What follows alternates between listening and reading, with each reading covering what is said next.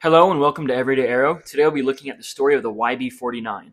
The YB49 had a rocky development, fierce controversy, and was ultimately deemed to be a failure. However, recently with the B2 and the B21, the YB49 proved to be simultaneously ahead and behind its time.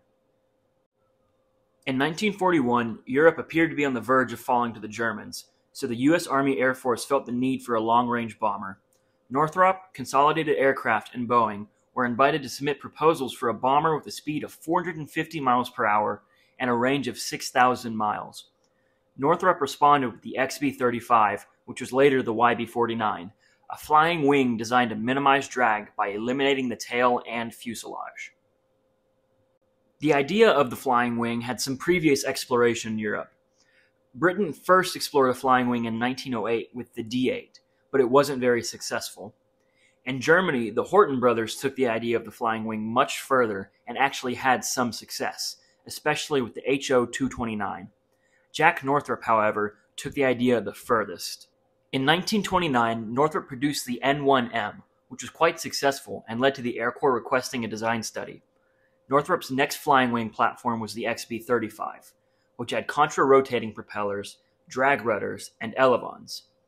Elevons are ailerons and elevators combined, and drag rudders control the yaw of the aircraft by inducing drag and are typically placed far out on the wing for increased effectiveness.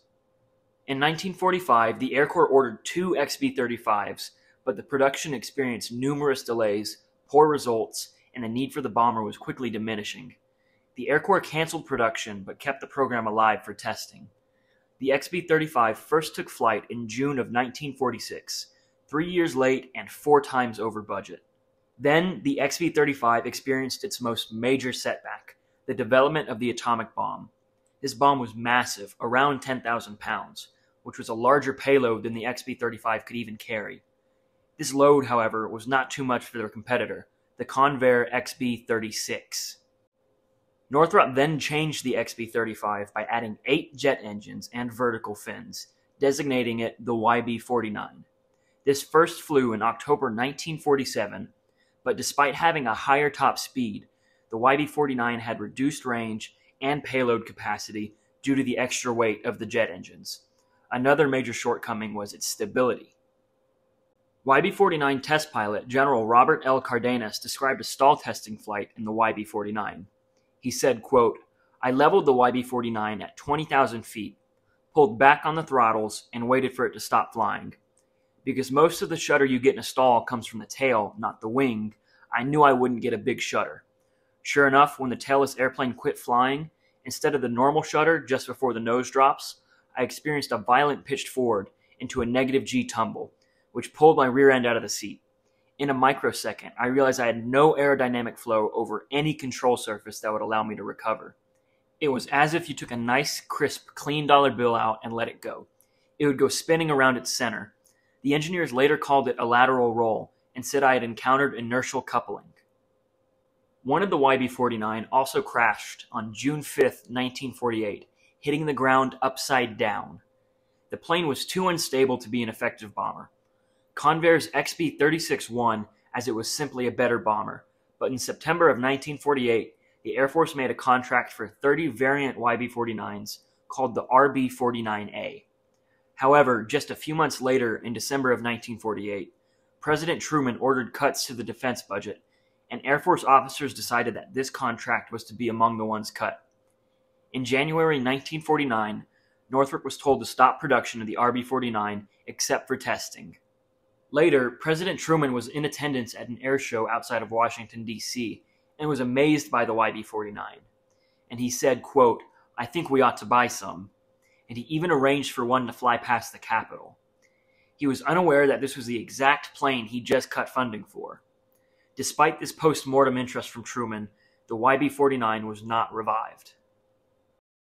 The Air Force magazine describes the demise of the program as, quote, Of the 15 Northrop flying wing platforms produced, several crashed, and a number of others, some of them stripped shells, were destroyed as surplus. Two YB 49s survived the cancellation. One broke in two when a landing gear collapsed in a high-speed taxi run test in 1950 and was destroyed. The other was preserved for testing, flew 13 times, was put into storage and finally scrapped in 1953. And so the story of the YB 49 was over.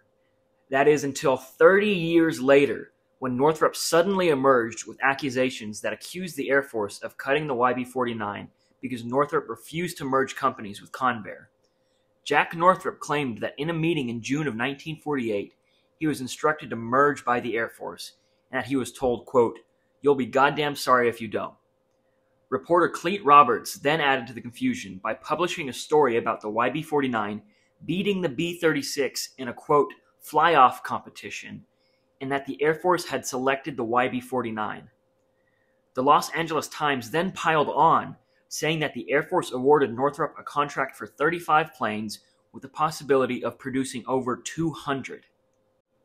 Francis J. Baker, a former Air Force officer and a manager in the B 2 program, sorted out these stories.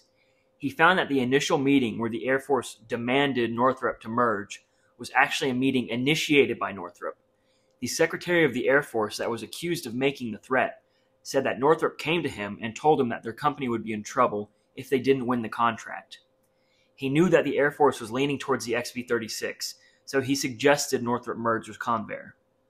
Baker also found that the stories about the fly off and the Air Force contract were false. In the end, he showed that Northrop's claims didn't hold any weight, kind of like their plane. And so the story of the YB 49 was over. That is, until in the 80s, radar cross section was suddenly extremely important for avoiding radar detection. During its testing in the 1940s, the YB 49 was shown to have a small radar cross section, but that hadn't mattered until now. Northrop created the B 2 bomber, which looks very similar to the YB-49, even having the exact same wingspan. But the B-2 is much more technologically advanced. The B-2 uses fly-by-wire, which handles instability much better than a human pilot can manage. While the B-2 is not simply a direct upgrade of the YB-49, it still made huge leaps from the foundation that the YB-49 built. The YB-49 is such a roller coaster of a story because every time you think it's gone, it just comes back. For its time, the YB-49 provided exactly what wasn't needed. It was slow, had poor range and payload capacity, and was very unstable, and it was bested by the Convair B-36 Peacemaker. For modern times, though, the YB-49 proved to have a useful design and a low radar cross-section, and stability issues could be solved with modern technology, proving it to be simultaneously behind and ahead of its time. So while the YB-49 bombed, so did the B2. Before I get into the top five hardest images of the YB-49 and XB-35, here's a quote from the Air Force magazine that I found interesting.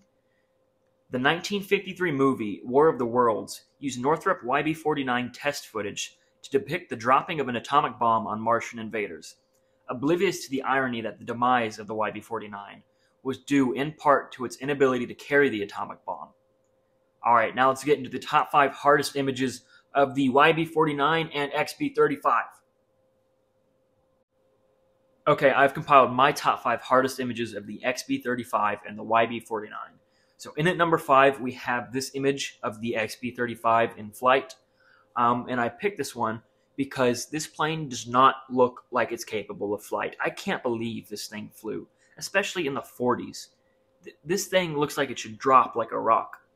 And at number four, we have a YB49 for a pretty similar reason. This does not look like anything that should be able to fly. This looks like a machine that should never leave like one inch off the ground. The B2, they had to make like a computer to be able to fly it. They flew this thing in the 40s with just like a guy in the cockpit. Imagine that. Imagine a person flying a plane. Crazy. Um, next is this picture of the XB35 with some people standing around for scale. Again, this does not look like a real aircraft. I can't believe this existed.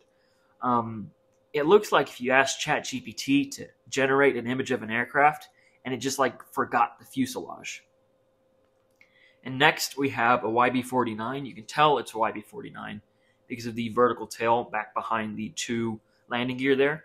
And we have a man up by the front landing gear that just shows the scale, the size of this plane um, and also the size of that landing gear. You can see why that one broke in half when the landing gear failed upon landing.